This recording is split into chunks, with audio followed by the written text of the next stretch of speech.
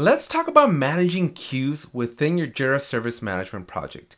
This is not that hard to do, and being able to manage your different queues is going to be way, way better for your team than having one giant queue that can become very overwhelming. Do you get many customer requests in languages that your agents can't speak? Then Language Translations for JSM by our good friends over at Resolution is the perfect app for you. It allows you to leave a great impression on your customers without having to hire folks to speak every specific language that your customers speak.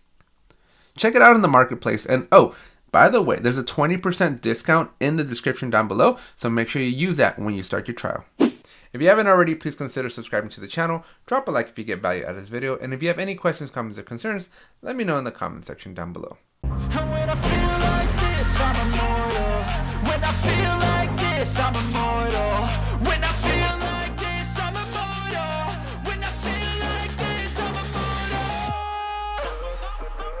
And as I just mentioned, it's always a good idea to add more queues to an existing JSM project.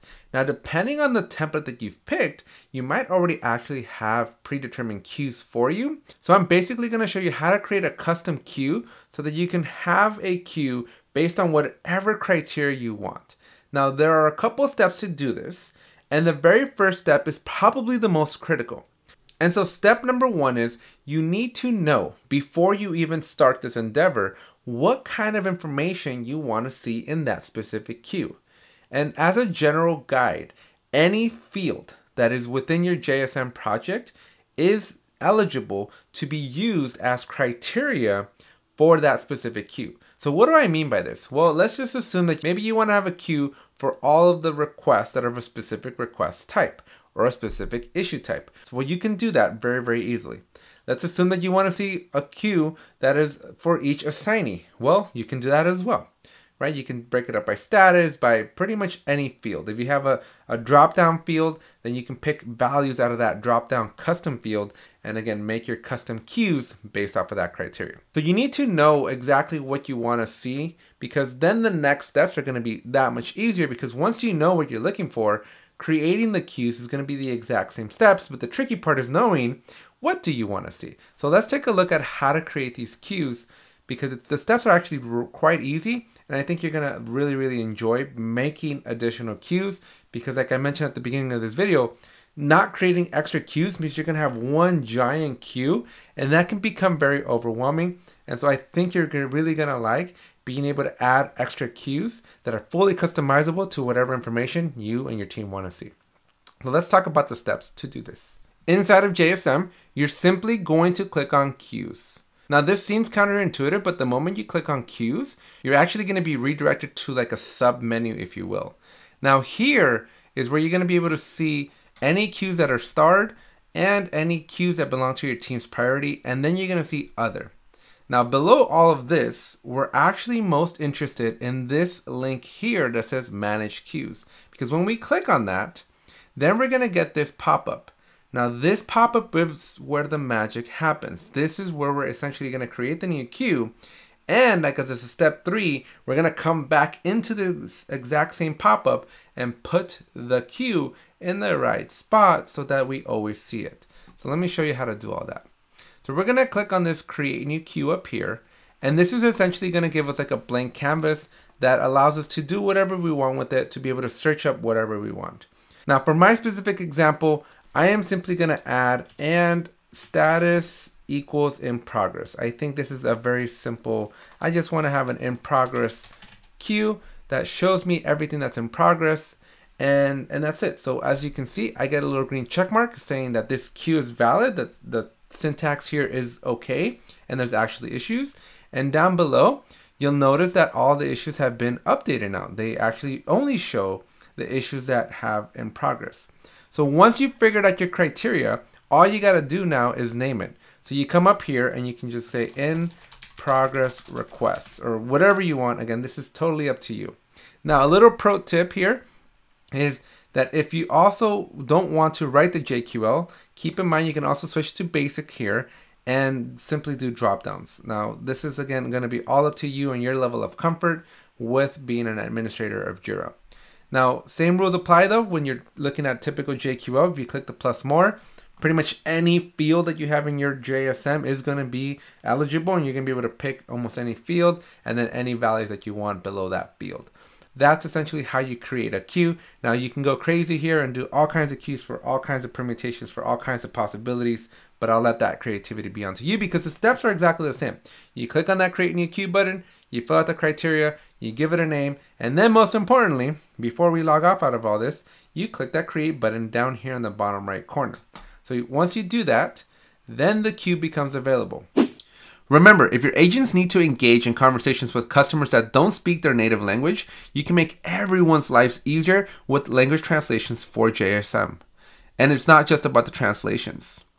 You can build queues for customers by language or simply automate assignments so that your specific language speakers are automatically given that specific ticket based on their specific language. Check it out in the Atlassian Marketplace and don't forget that there's a 20% code in the description down below. But now, keep in mind that this queue is over here on the left hand side other, under other. We don't want that. I want this queue to be a little bit more front and center and I want it to be up at the top. So in order to move this queue and put it where I want it, I have to go back and click on that manage queues button. And then you'll notice that I see my new in progress queue over here. So I just gotta drag it and put it over here and then hit close. Because now when I do that, you'll notice that my in progress request is now at the top. And then finally, if you want to make sure that your queue is always front and center, you can simply hover over your queues here. You'll notice that there's a little star. Essentially, it's a bookmark. You can click on that and that's gonna move it up here. Now, one thing to note is that when you come and look at your queues over here, your queues are not going to show up here. It just depends on the type of Jira project that you set up. So some of the templates will show them to you. Others are going to require you to go into the queue and then you're going to be able to see the queue. So your mileage is going to vary there. So don't keep that in mind if your UI looks a little bit different.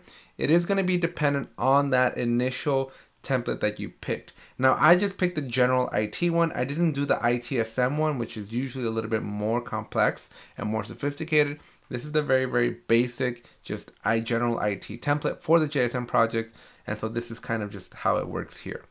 Now, that's all you need to know. Essentially, once you create your queues, you go back into that manage queues, you put them in the right spot, and then now when you click into your queues here, they're gonna show up in the right area. And you can just add whatever queues you want, create a queue for different team members, for different statuses, for different fields, whatever information you want, you now have the ability to create these custom queues because they're just going to help your team stay focused. Because like as I've been mentioning throughout this video, if you just depend on one giant massive queue, things might get lost in there because while I only have like five or six issues in here, over time in a real company, in a real team, you're to have hundreds, if not thousands of different requests that are coming in. And so you're want to maybe redirect traffic to the right team so that the request can be worked by the right individuals or by the right team. Getting tickets in Arabic, Chinese, or Spanish? No problem. With language translation for JSM, your agents will engage with your customers as if they were natives.